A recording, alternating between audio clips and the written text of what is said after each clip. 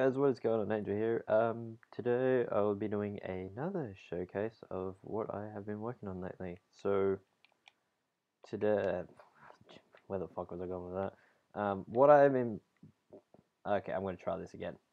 The other day I went and saw the movie Deepwater Horizon and like saw, I kind of liked the oil rig that they had on that.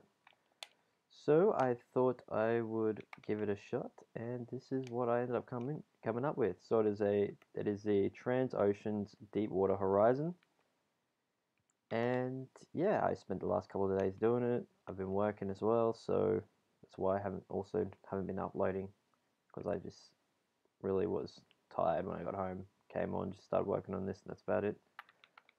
But yeah, so I have two cranes on it two small cranes, not much to them.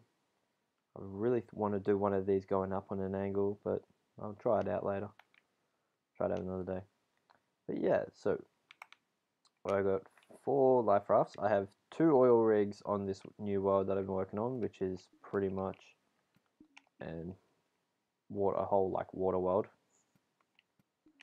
But yeah, I got two on. I got the Deepwater Horizon and the Perdido Spar. The Perdido Spar was done off Jag Thunders. I'll go show that in a minute. But I just want to quickly show this one off at the same time. So up here I got the drilling platform just beneath the derrick, which is pretty much, if you've seen the movie, this is where the oil like comes dripping out for the floor. And this is the drill shack here, and just below here I have the rest of the drill pipes going down into the water. Now I haven't actually done the bit that's on the surface because it's just too shallow here. But if I get around to the new world, when I get around to it, that is, I will actually do that as well. But I'll make the water a lot deeper. Hang on, just give me a second, my computer's going flat.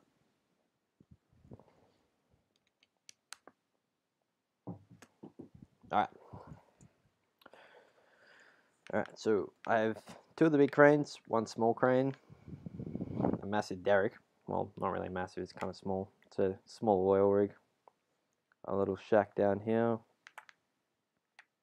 Got the bridges down here. None of the buildings really have furnishing in them yet. I'm planning to do this over the weekend. But that's about it, really, for this one. Now, if I get out of there, I'm to go have a look at the, I'll take you over and show you the um, Perdido Spar, which I did Jag Thunder's tutorial. I've just been doing a lot of mods to it. I was meant to build another one of these helicopters on the other rig.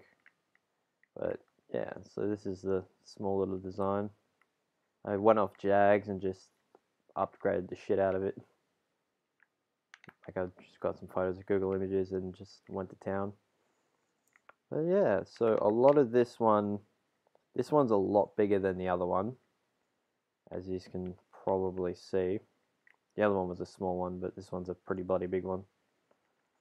But yeah, if you want a challenge, highly suggest you try this if you want a really big challenge.